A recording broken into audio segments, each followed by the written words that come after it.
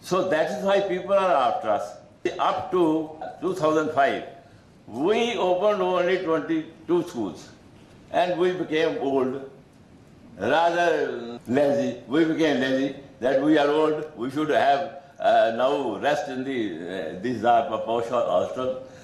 Then all those drug addicted people, all those notorious people, they come in, in buses, save our children, save our children. We are ruined, but our children must be saved. Then they, say, they save our children. Then there was a bullet in my chest that, uh, oh my old man, what would you do? By taking the breath in these all comfort uh, rooms, why not to help them? Then I, I was at that time 83 years old, something. I became 30 years old uh, person, very young. Man, you arrange the lands, we will open the schools. In 20 years, we opened only 22 schools. But in 3 4 years, we have opened 50 schools more.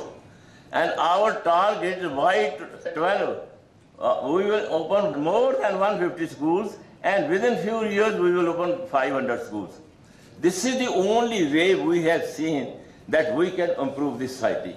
That children, they motivate the elders.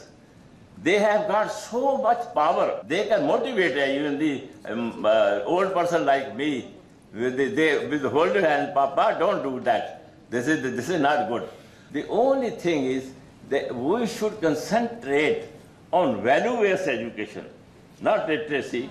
And if you can harness the, this young wealth, these children, and impart the value-based education, whole phenomena of this hatred and differences, all they will all go. In our school, all the uh, students uh, are studying, whether they are Muslim, Hindus, Sikhs, everything, but they are in very harmony. They remain a brother, complete brotherhood. There is no any uh, difference, and they are much better than olders. So this is the way how we can hammer out this type of formula uh, to improve the nation, improve the humanity. Barriers will be vanished. These are countries barriers will be vanished. If you create such type of, I would say, human material. So this, this requires willpower and resources. So this is what we are calling. And we have established university also there. And uh, there are about uh, uh, six, seven colleges. And for women empowerment, we give uh, uh, teaching in our school to the girls equally. Very nice. They are, they are more hard worker. But what we do now, poor girls in the villages, the, the, the, in, in Punjab, I, I don't know, in Haryana also, people send the uh, boy to a best school. They can spend more on the uh, boy because they say they, that is our wealth. They will remain with us. And they don't spend on the girls. They say that is a prayat that, that, that this mm, uh, girl has to go to other house. Why we should spend more? Why we should spend on that education? This is the notion in that. In that notion, they don't teach the higher education to the girls. What we do, they, they only study 10th or 12th in uh, uh, government schools. They don't know even ABC. There's so much copying. I asked the students, how much copying you have done? More than 75%. We pick up all those girls, about 10th plus 2, and pick up them, give them our, in our ashram at Baru Sahib, and give them a free education. Free education up to university level. And their uh, English is very much improved. And make them a good citizen and after graduation we have a B.Ed college, we do that and we provide the jobs in our schools. About 10,000, 10, 12,000, they stand on their own legs. Their value is very much improved. So these are the, the other also we have uh, two uh, hospitals, charitable hospital, one in, in the inner Himalaya region, even Canadian doctors last year 27 came there for plastic surgery. So we have got the de-addiction center also we want to. Uh, there our success of uh, the indeed de-addiction center, it is more than 75% record.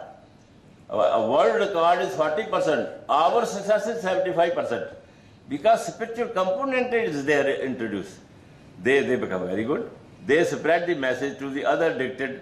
Though, you, you also come over here. So I am telling we are doing all this social work to get the blessing of divine. So that this, our life, should become divine, for which we have come. Everybody has come to realize the divine within. If we realize the divine within, we are all brothers. There is no diversity. There is unity. So with this humble, I say, I must request you, sometime visit our, you see. And now we are uh, establishing one more institute that is naturopathy and alternative medicine.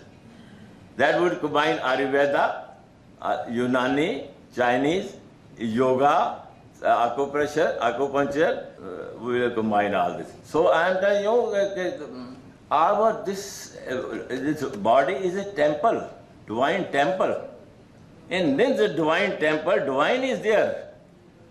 And we feel that it is my body, we enjoy it. We don't enjoy the divine bliss. So with that, we are, now I am 86. You please uh, pray for me. If I, of the rest I breath I have, but we would have, I can, I mean, invest for this type of a cause so that my life may be uh, uh, become purified and become divine, and I, I will be very Uh, humble to the divine Lord that He has accepted my last breath. You also pray and come to our uh, place, and you will find many, many new ideas. Thank you very much. May God bless.